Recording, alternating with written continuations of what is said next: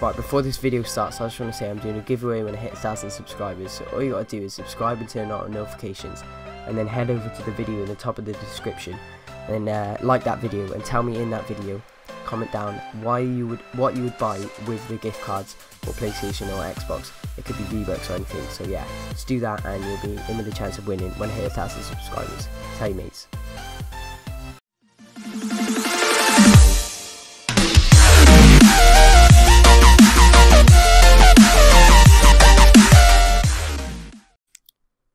Right guys, today we're going to be doing a Ninja thumbnail tutorial, so go over to Ninja's channel, he usually uses the same uh, like uh, format for his thumbnails, uh, the character in the right on the right or the left, and then the um, uh, the text of white and uh, orange, and then the Fortnite uh, logo with white spikes around it. So yeah, we're going to be showing you how to do that for free. So when I say free, I mean it's completely free. If you go over to online I think it's pixlr.com slash editor. So if you go over here, and then it'll bring up this screen. So um, yeah, this is what it should look like, uh, sort of look like at the end. Uh, it's got the text, the uh, Fortnite logo. I've just put in a random, um, uh, I think this is the Love Ranger uh, skin, and then also the white spikes. And there is a few problems uh, with doing it for free. This is probably the closest you're going to get to Ninja's one. like I said, he uses the if I go to Ninja's tab, he uses a um a, like an orangey Fortnite Battle Royale with the Ninja logo above it. I can't actually do that in uh, Pixlr, so that's one thing. Also, the spikes are like a little bit less spiky. I'll show you why when we get to it. And um, uh, the I'm not sure what font he uses. However, personally, I don't like his font. This this is just my opinion, and you probably don't care about this, but I, prefer a different font and I'll show you what font that is in a sec. So yeah, if you head over to Online Pixlr, just want to go over uh, to this, I'll leave this uh, link in the description and then click create, create new image and then change the width to 1280, 1280 and then the height to 720 so that's a rectangle and then check the box that says uh, transparent because that'll obviously put a transparent background in. So um, yeah, the first thing Ninja has in his thumbnail, the background, you want to, always want to start from the back and come forwards, if you know what I mean. Like, uh, the, the furthest thing away, uh, is what you want to start with. So he has, like, this one's like a Fatal Fields one. Um, I think, uh, you can't really tell that's a Tilted Towers one. Uh, his latest one, I'm not sure. Actually, that's not his latest. If we go actually to his channel, uh, he's got, um, videos. Uh, he's got the, if you can see in the background, that's actually a um, season five background. So I've actually got that one. So if you go to um, layer, open images layer, this is gonna be your, your bottom layer here. I've got a folder Fortnite backgrounds. It's just uh, where I store some things. So we've got a random Fortnite one there, um, a season five one, which you're going to use Tilted Towers, another Tilted Towers, a random one there. But we're going to use the season five, so you're going to click on that. And then if you go to edit and Free transform, and then holding shift, make sure you hold shift, it keeps it in proportion. You want to uh, drag the corners out and just choose where you want this uh, to be. So I'm going to get rid of that Fortnite in the bottom left. And I'm going to drag that a little bit more outwards and then make sure it fills up. So you want to make sure it's all the way around this uh, grey area where there's so no transparency is uh, being shown in the background. Then you click off that uh, and click, uh, do you want to apply the changes? Yes. So always click yes and it'll do whatever you've just done. And then you want to create new layer. And then if you can see on Ninja's ones, he hasn't, you can't see what's in the background, usually because he puts a, uh, a color over it. So to do this in the free online software, you want to do, uh, you want to grab the brush tool, which is here, or I think it might be Control and B. I'm not sure. Let's uh, let's just check. Control B. Uh, no, it's not. It says B next to it. I'm not sure what that does. I don't use hotkeys, so whatever they're called, uh, shortcuts. Sorry. So um, yeah, on the brush size, uh, I drag this about about halfway, 520, that could be good. Around that, around that big. Um, so yeah, and then you want to grab a colour. Um, you could literally grab any colour you want. Green, purples, blues, light blues, uh, red there. I'm going to do blue. Blue for my channel. Um, so to change the colour, set main colour here. You can drag it all the way around this. I'm going to go to dark blue and then make sure the inner circle is on the colour you want. So it'll be that and then all you got to do is change the opacity here, which is how see-through it is, or uh, to around 80 I'd say. Probably maybe a little bit less actually. If you do undo I'll change it. I'm gonna go for uh, around 60 I think. Uh, yeah around 60 60 seems good. And then all you got to do this is a bit laggy because I'm recording at as well at the same time but all you got to do is go around the whole thing. Just make sure you haven't missed an area uh, I'm not sure how laggy this is for you but it is pretty for pretty laggy for me. Sorry about that. I'm doing the best I can. I haven't got the greatest PC so recording and doing like an editing editor photo at the same time is pretty demanding on my PC so yeah we've done that. So that's that layer. So you can sort of see the background. If you want it uh, darker you can change its opacity up the top uh, top left but I'm going to leave it like that. And then um, next step I'd say. You don't have to do it in this order. You could do the white spikes next but I'm going to go for uh, the actual image of uh, the character. So if you go over to our, our tab here we want to do layer open images layer. Oh hang on hang on. Sorry. We need to make a new layer. This little button here is a new layer. And then and then do the same thing. Open images layer.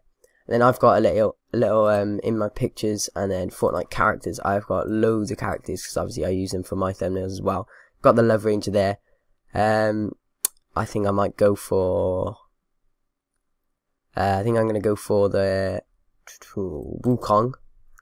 Mix it up a bit. So Wukong is gone straight in there. If you want to know how to get that actually sorry if you just search into Google uh, Fortnite char character PNG PNG on the end of anything makes uh, the background transparent if you can search for one. So we've got a few there. Go into images uh, there's a love range I used um, if you click on it the background is checkered if it's checkered is a good one and then just click uh, save image as right click and save image as so yeah there's, there's a, ooh, I didn't mean to click on dance there but yeah there's there's a few there so just click on any ones you like and add it into your thing from image and uh, open images layer. And then Wukong, in my opinion, looking too big there. So you want to go to edit, free transform, and just holding shift again, just drag one of the corners down. It doesn't matter what corner. And I'm going to do it for about that much. And then click off and, and click yes to apply the changes. So uh, I'm going to put him, actually I'm going to make this a little bit bigger, just a little bit. Uh, put him about, there we go. Okay. Now that's looking good. Uh, the next step probably is the text, I'd say. So uh, you want to make a new layer. Now, like I said before, Ninja's text, I can't actually find it.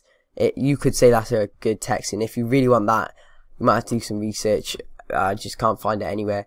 But uh, yeah, if you go to Type Tool, when you um, type, uh, you can just click down, and then there's a load of fonts here.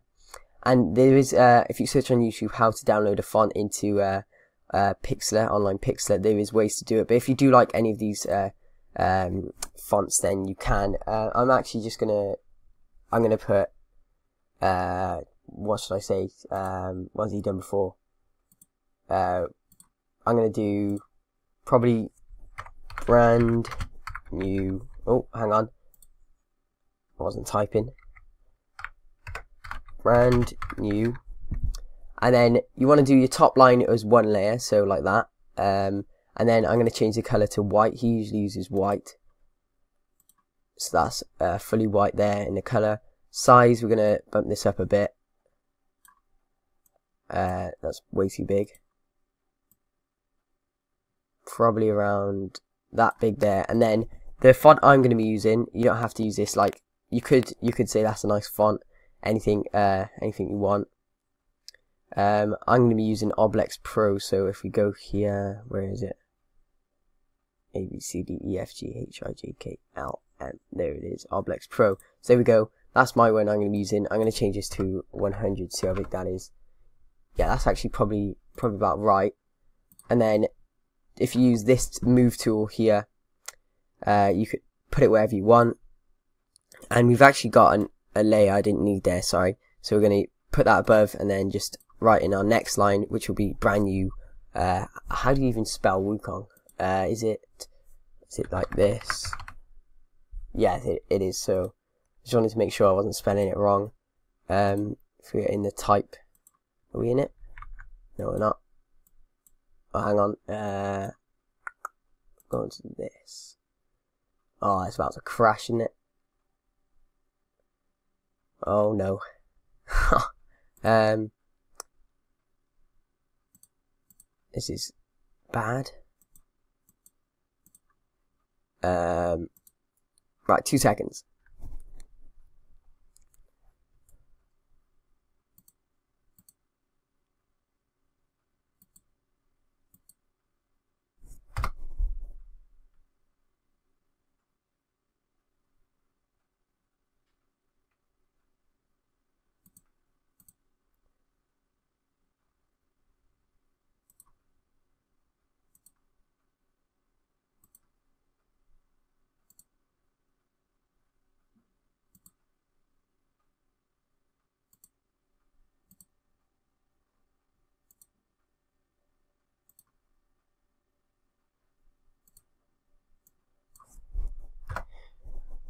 Three, two, one.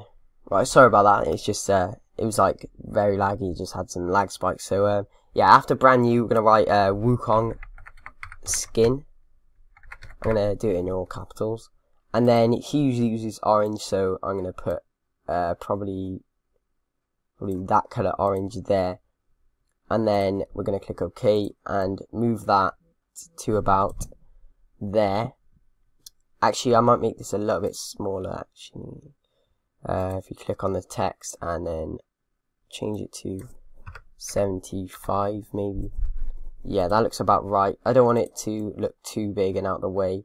So if we drag that to there, then I'm going to make a new layer.